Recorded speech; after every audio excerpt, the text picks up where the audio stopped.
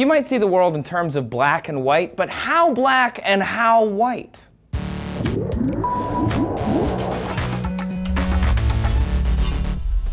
Howdy friends, Trace here for DNews. Thanks for tuning in. You probably remember from grade school that black paint is a mixture of all the colors. Red, yellow, blue, green, orange, and purple equals black. White paint, though, is a little more technical. It's made using a variety of natural materials like chalk or lime dust mixed with viscous liquid. But the mistake comes when assuming we've made the whitest white out there or the blackest black around, because we haven't until now. The scales of the Cyphochilus beetle from Southeast Asia reflect more light than a piece piece of white paper due to its specialized ultra-thin scales that cover its little beetly body. In fact, according to research in scientific reports, this beetle is the whitest thing in nature that we know of. The beetle's scales are made of chitin, found throughout the animal kingdom in exoskeletons and shells. It's similar to cellulose. The chitin scales are only a few nanometers thick, which is beyond our comprehension to make. They're so complex that they reflect the maximum amount of white with the most minimum amount of material. Thin and light is important for flying insects, but difficult for manufacturing,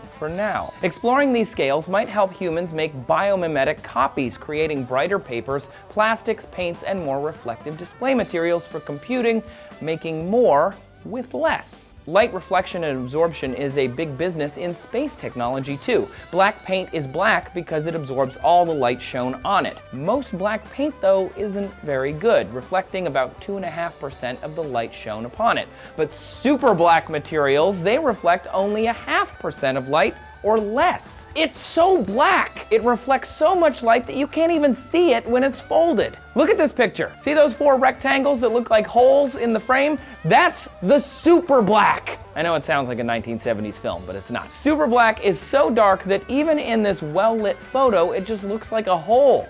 It's made of carbon nanotubes arranged on an adhesive material and titanium, ideal for use in space. Again, it's lightweight and strong, not unlike chitin. The tubes are a few nanometers in diameter and are grown in an arrangement sort of like shag carpet. The web of tiny nanotubes traps light absorbing 10 times the energy of their normal black paint coating. NASA created the material for use in the space program to coat cameras and absorb stray light that can bounce off satellites and mess up cameras or other optics. Sometimes the source of light in space is so faint that any unwanted light source can mess up a whole mission. They've sent Super Black to the ISS for testing. Space is pretty harsh with temperature changes, radiation, energy particles, you get it. But if it performs well, they'll use it for future sensor missions. As technology improves, the whitest and blackest materials are getting better by just tiny fractions. Each step can provide a benefit in any number of industries. There's already a company in the UK that's created something even blacker than Super Black. Tell me what you think down below, and while you're dealing out your opinions, check out my new show, Test Tube. It's right here on testtube.com.